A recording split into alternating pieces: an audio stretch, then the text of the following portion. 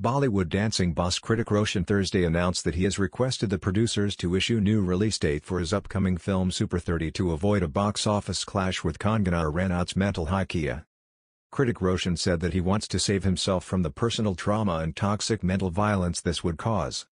In his Twitter post the actor wrote, so as to not allow my film to be desecrated by yet another media circus, I have decided to shift the release date of my film Super 30 in order to save myself from the personal trauma and toxic mental violence this would cause.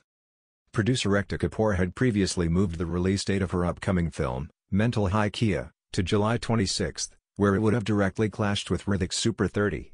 Ekta had said in her statement that the decision had been taken through mutual understanding between the producers of both films.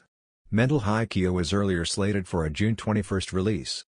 Earlier, Kangana's sister Rangoli Chandel launched a scathing attack on Hrithik Roshan, alleging Hrithik Roshan of trying to malign Kangana's reputation with negative PR. She added, what to expect from a man who always prefers to attack your back rather than meeting you in the battlefield. Rangoli had implied that Hrithik Roshan is attempting to spin the story of his film Super 30 clashing against Kangana's upcoming release, Mental Kya in his favor, and has taunted him in a tweet as Jadoo.